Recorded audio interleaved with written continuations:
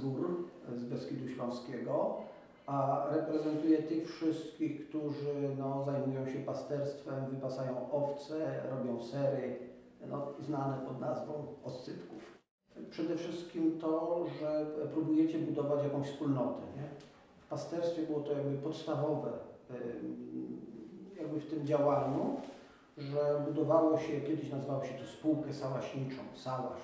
To była wspólnota pasterska, ona skupiała zarówno właścicieli owiec, właścicieli ziemi, tak, ale również w ogóle okolicznych mieszkańców, leśniczego, nie?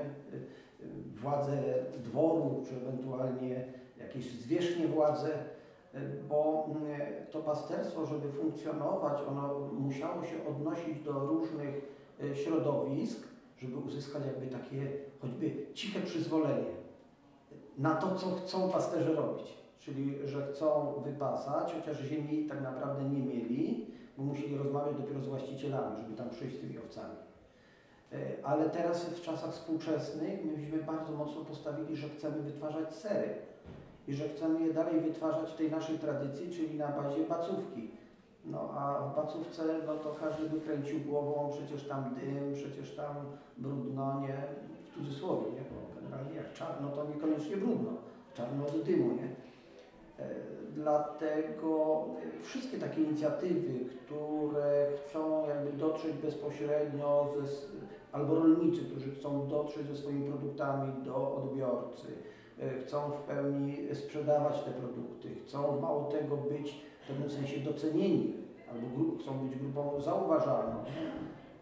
Tak na marginesie, no przedsiębiorczość to jest ocena. Jak dziecko przychodzi do mnie, y, pokazuje obrazek, namalowało coś, ja mówię jak pięknie, to ja go oceniam, wyceniam jakby tą jego pracę. Nie? Y, bardzo mocno jakby kładziemy nacisk na właśnie takie cechy przedsiębiorczości, dlatego że jest to źródłem no, takiego, tak, satysfakcji ja mogę powiedzieć, że czuję dużą satysfakcję, bo tam, gdzie mieszkam, wydawało się, że nigdy już nie będzie owiec. Czyli nigdy już nie będzie to, co, czego doświadczałem w, dzieci, w dzieciństwie, że jadłem bunt, owczy ser, że piłem rzędycę, czyli taką owczą serwatkę, że słuchałem starych opowieści, że ten świat się całkiem skończył.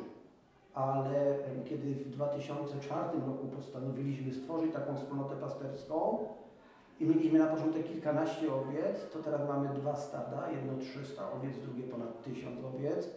I w każdej chwili ktoś, kto przyjeżdża do nas do Istebnej, albo nawet ci, którzy się już w tym czasie urodzili, mieszkańcy tam naszej społeczności, mówią, no, że to już jest jak, jak coś naturalnego, jak powietrze. A wcale tak nie musiało być.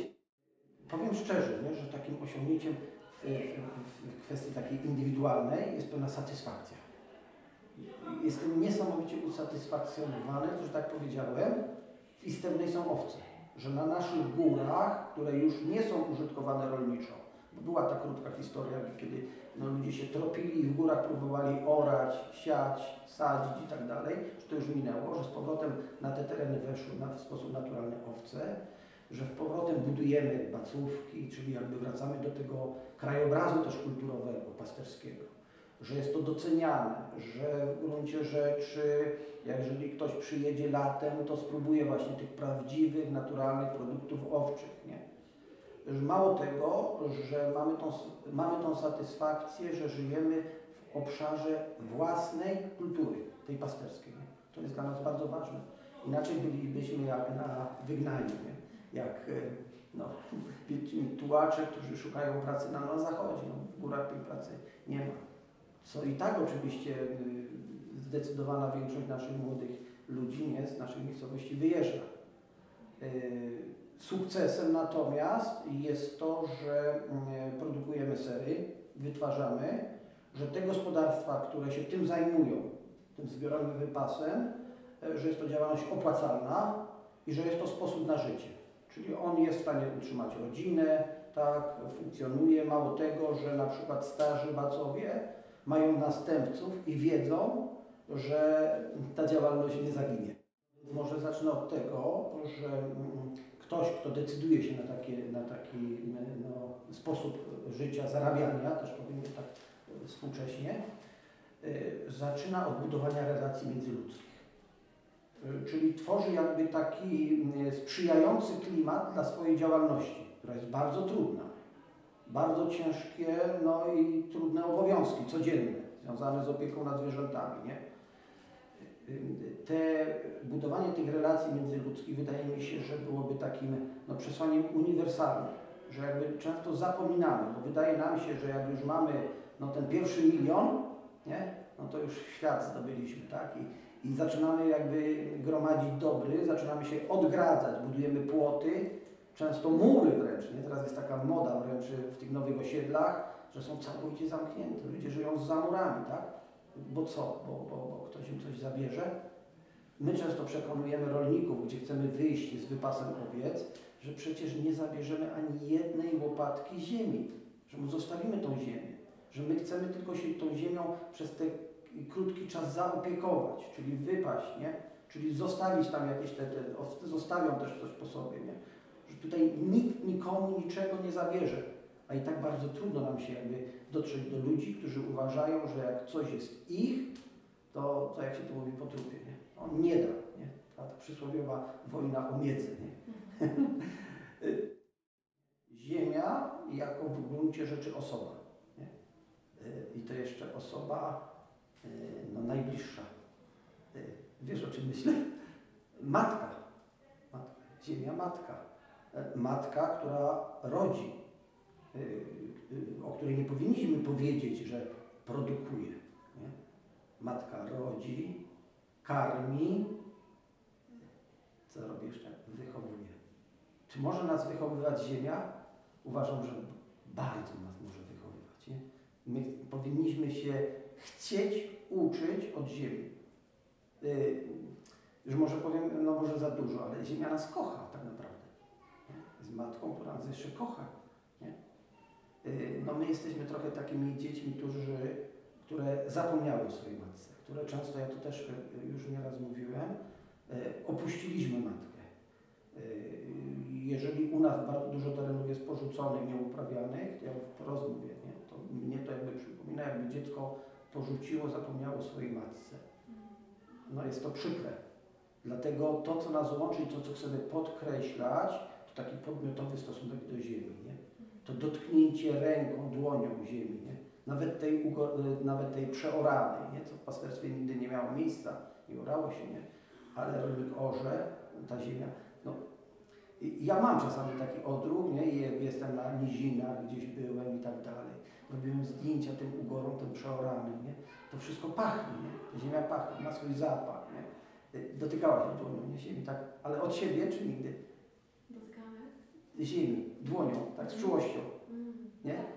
To wtedy można powiedzieć, że nawet można odczuć, że tam bije serce, nie? Że to jest żywy organizm. Nie? Raz leciałem samolotem, jak się wzniosłem w górę, zobaczyłem ziemię, przecież to jest coś żywego w całości. Nie?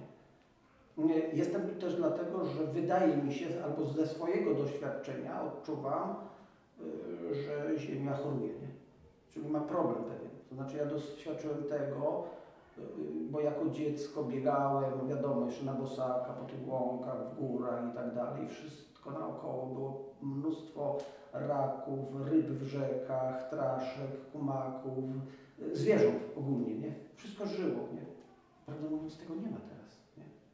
W tych górach, gdzie niby ta przyroda jest jeszcze jak najmniej skażona, tego nie ma. Odczuwam ogromny brak, ogromny żal za czymś, czego nie ma, nie? I wydaje mi się, że to nas też powinno łączyć jakoś tak. No wiadomo, że każdy ma swoje indywidualne doświadczenie, nie? Dziecko urodziło się, jak już nie było tych rzeczy, no to już nie wie, jak ta ziemia wyglądała dawniej. I tu jest takie ważne, żebyśmy się też uczyli albo rozmawiali z tymi, ze starymi ludźmi. Nie? Ja mam stosunek do starych ludzi jak do starych drzew. Nie? One są bardzo cenne, one są niesamowicie cenne. Jedno drzewo stare jest pełni ekosystemem. To jest nagromadzona wiedza wielu lat nie, i tak dalej, tak można powiedzieć. Nie? No tutaj, Tak samo stary człowiek. Natomiast właśnie jeszcze i zastanawiałem się, dlaczego ludzie wycinają stare drzewa. Nie? I tak ostatnio, jak, jak, jak, jak, czytałem pewną książkę, I tam w tej książce jest e, pokazane drzewo jako e, to, z którego lipa akurat, nie? Zbiera się kwiat lipowy. Przecież ja to robiłem jako dziecko, teraz już nikt kwiatu lipowego nie zbiera. W związku z tym drzewo jakby traci w ogóle swoją funkcję, więc po co jest, po nic i się go us usuwa, nie? To tak jak czasami wydaje się, że stary człowiek, no po co jest? No. E, Pytanie, najlepiej go usunąć? No nie.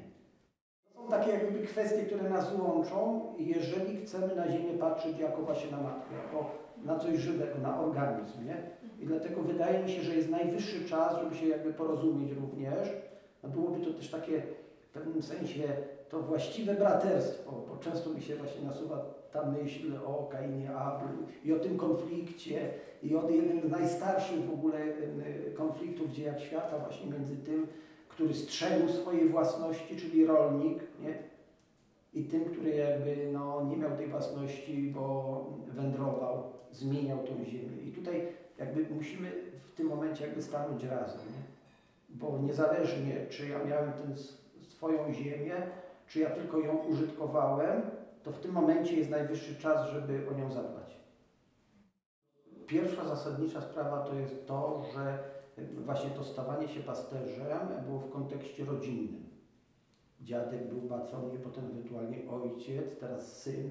I znam bardzo wiele takich przykładów, jak to w sposób jakby naturalny jest wysysane z, z mlekiem matki, ale jednocześnie e, chłonięte e, z głosem ojca.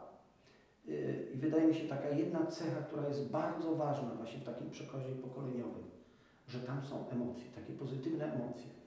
Wydaje mi się, że obecność emocji no, zwiększa jakby tutaj ten, ten czynnik edukacyjny zdecydowanie.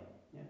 Czyli jeżeli chcemy przekazać wiedzę, to powinniśmy ją przekazywać jako swoje doświadczenie, ale do którego nie jesteśmy jakby ustosunkowani obojętnie, ale z którym się utożsamiamy i jest to część naszych emocji.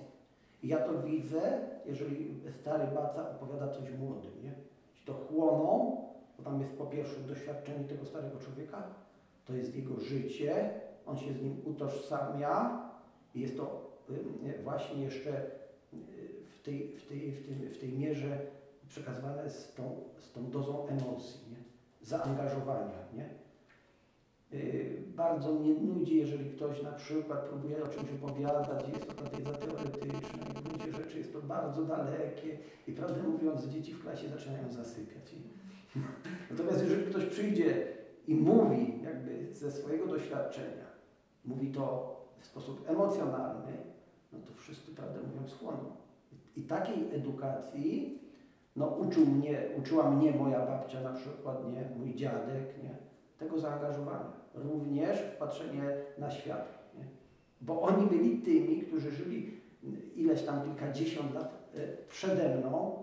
Oczywiście ich doświadczyły też bardzo trudne losy jednej wojny światowej, drugiej wojny światowej, biedy i tak dalej. No ale ale ten autentyzm, który jakby oni przekazywali, dla mnie był najcenniejszy. Też mi się tak wydaje, że, że jestem tutaj dlatego, że spotykam ludzi autentycznych. Czyli, że e, mówiliśmy wczoraj o prawdzie, ale że oni też za sobą reprezentują pewną prawdę. Czyli nie, gra, nie gramy przed, przed sobą, nie? Jesteśmy autentyczni. Wtedy czasami jesteśmy w stanie więcej trochę powiedzieć, bo wiemy, że ktoś nas nie odbierze jako dziwaków, czy jako ewentualnie, czy nie staniemy się śmiesznymi. O. Bo w gruncie rzeczy w kręgu osób, y, które szukają jakby wzajemnego zrozumienia, można powiedzieć też więcej. Nie? No i, i, i, wydaje mi się, że takich miejsc no, powinno być coraz więcej też, nie? że z kolegą rozmawiałem, że takie miejsca powinny wręcz opasać całą ziemię, nie? bo są takimi, takim, no, takim antidotum chcemy chronić Ziemię, w jaki sposób jej pomóc, y, musimy też pomóc siebie. Nie? I też jest ważne, żeby ludzi, ci ludzie się spotykali. Też przed chwileczką rozmawiałem z kolegą, jak ważne jest, żeby przynajmniej raz w roku się spotkać. Nie?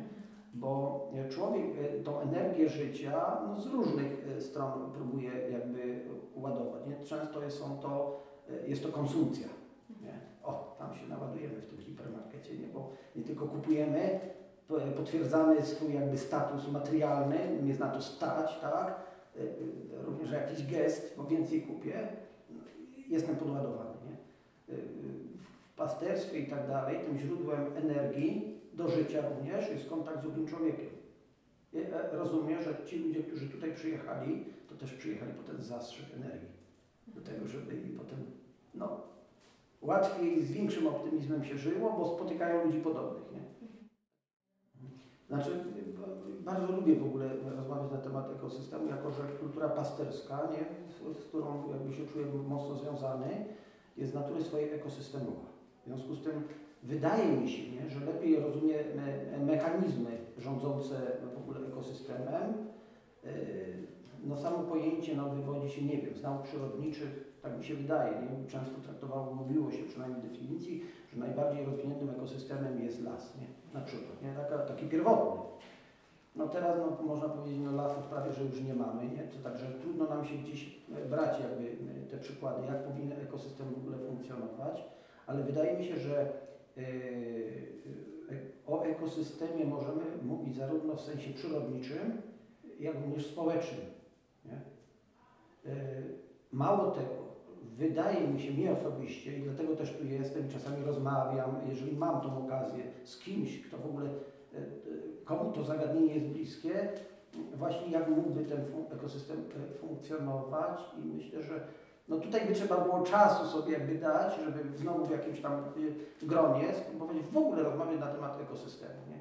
jak powinien być zorganizowany. Natomiast jeżeli już chodzi o e, e, e, samą Ziemię, czy w ogóle pytanie, czy my w ogóle możemy pomóc Ziemi, to wydaje mi się, że można byłoby jej pomóc, budując jakby takie punkty miniaturowe, ale funkcjonujące w ekosystemie przyrodniczym, jak również środowiska ludzi, które również chcą, decydują się, rozumieją, jak się żyje w ekosystemie i też na ten wzór żyją.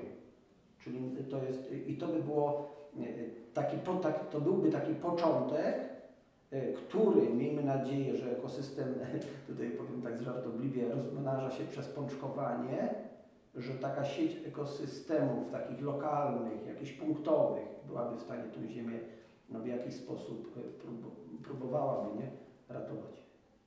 No to, to jest to właśnie, że to jest więcej powiedziane. nie wiem, ale tak, takie właśnie takie. I, I wydaje mi się, jeżeli tutaj jeszcze jestem, że tutaj jest duże zrozumienie właśnie dla takiej koncepcji. Nie? Że to w jakiś sposób intuicyjnie, czy w sposób jakiś empiryczny jest doświadczalne, czy ktoś ma rzeczywistą wiedzę na ten temat. Nie? I tą wiedzą należałoby się dzielić, mówić o tym. E, Mało tego, nie? uważam, że budowanie takich przestrzeni ekosystemowych jest bardzo mocno związane w ogóle z takim pojęciem, e, e, które jest takie no, na modzie obecnie, z innowacją. Nie? Chcielibyśmy być no, społeczeństwem innowacyjnym, mieć gospodarkę innowacyjną, mieć edukację innowacyjną, no prawdę mówiąc to słowo, gdzie można wszędzie go dopasować. Mnie się innowacja kojarzy przede wszystkim z obniżaniem kosztów fun- funkcjonowania. Nie? Wydaje mi się, że no musimy też jako ludzie zdecydowanie te koszty funkcjonowania obniżyć. No i to jest przez innowacje. I tak ja rozumiem innowacje generalnie. Nie? Czyli jakby na nowo popatrzeć, jak na nowo żyć, żeby tej ziemi zdecydowanie mniej szkodzić, a mało tego, pozwolić jej wrócić do zdrowia. A, bardzo ważne, nie? Y, Przychodzę na wieś do gospodarza i mogę u niego kupić masło. Przychodzę do sąsiada i są tam jajka. Czyli y, wieś jest wsią, a nie pozbawiona zwierząt. Czyli suwerenność y, żywnościowa y, dla mnie polega na tym, że wieś jest naturalnym rezerwuarem żywności. Że w, w razie, już tutaj powiem może prze- przesadnie, jakiegoś kataklizmu jesteśmy w stanie przetrwać. A najważniejsze, żeby umiejętność życia ze zwierzętami, bo to mi się też wydaje kluczowe, nie tylko jakby w stosunku do zbóż i tak dalej, jest przekazywana pokoleniowo. Bo najbardziej grozi nam to, że my w ogóle nie będziemy wiedzieć, jak ze zwierzęciem domowym postępować, ale również nie będziemy wiedzieć, jak uprawiać ziemię. Nie?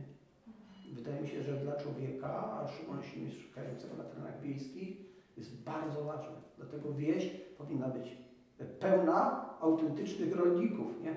Oczywiście z małymi gospodarstwami i niekoniecznie, które dają mu pełne jakby tutaj możliwość e, e, życia, bo tutaj by trzeba było jakby dołożyć różne inne jakby formy, gdzie on może zarabiać, czyli znowu popatrzeć na to ekosystemowo, ale żeby faktycznie tam zwierzęta były. Przede wszystkim e, myślenie o ludziach najbiedniejszych. Że oni są częścią naszego społeczeństwa, to nie chodzi o to, że my, my kiedykolwiek no, y, wyjdziemy z biedy w ogóle na świecie, nie? nawet w tym znaczeniu, nie? ale my musimy mieć świadomość, że oni są częścią nas. Byśmy mówili trochę o ekosystemie, y, gdybyśmy chcieli popatrzeć w ogóle w takiej y, skali globalnej, czyli odwrotnie jak to globaliści patrzą, nie? gdzie ewentualnie oni patrzą jak wyzyskać, nie? Wyssać, nie? wykorzystać, y, to y, w takim patrzeniu ekosystemowym, nawet w tym pojęciu solidarności na y, najbiedniejszych jako na naszą część. To my razem z nimi jesteśmy biedni, powinniśmy być biedni, nie? I ewentualnie się czuć biednymi, nie? Tak pojmuję Solidarność. Czyli nie zapominam o najbiedniejszych i mam ich pełną, stałą świadomość. Chociaż no może, no trudno może z tym żyć, nie? Ale generalnie no chyba trzeba.